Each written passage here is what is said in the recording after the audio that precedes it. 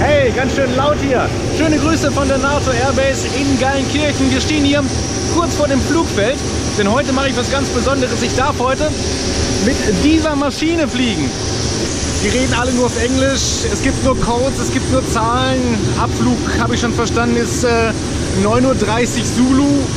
Ich habe keine Ahnung, was 9.30 Uhr Zulu ist. Da ist das Ding. Damit fliegen wir jetzt rum. Es geht los, alle Briefings sind fertig, es ist unglaublich laut. Die Eingangstüre.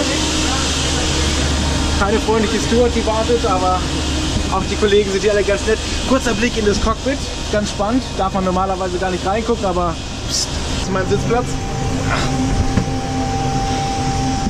Sieht ganz bequem aus, ne?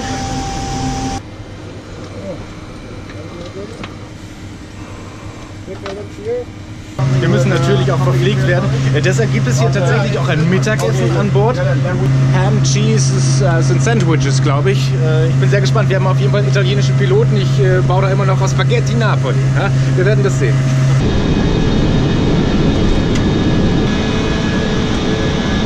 Ja, zack, da sind wir oben.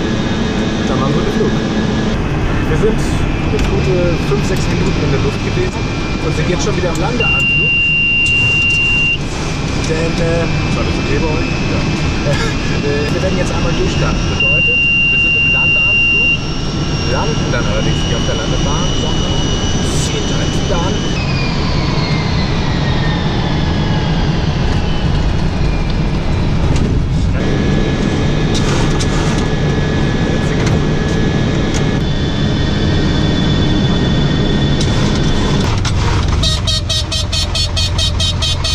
Und jetzt passiert wirklich was richtig Spannendes. Ich schwenke euch mal nach vorne, vielleicht könnt ihr sehen.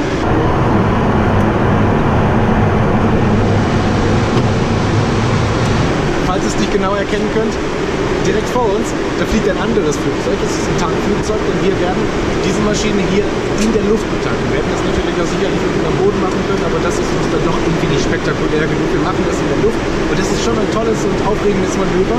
Totale Anspannung hier im Cockpit, deshalb muss man ein bisschen leiser sein. Die beiden Flugzeuge fliegen dann her wirklich ja, so eine Zapfsäule, so ein Schlauch rausgeschleudert. Der wird dann hier aufgesammelt und dann fließt hier der Treibstoff. Und das ist schon äh, wirklich eine spannende Sache, weil eigentlich haben Flugzeuge ja doch immer einen relativ großen Abstand zueinander, auch in der Höhe und mit den Geschwindigkeiten.